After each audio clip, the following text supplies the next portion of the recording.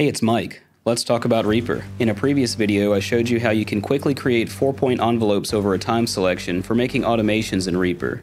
And while this method works, the fast and almost non-existent transition times can lead to some rather drastic and robotic sounding volume automations.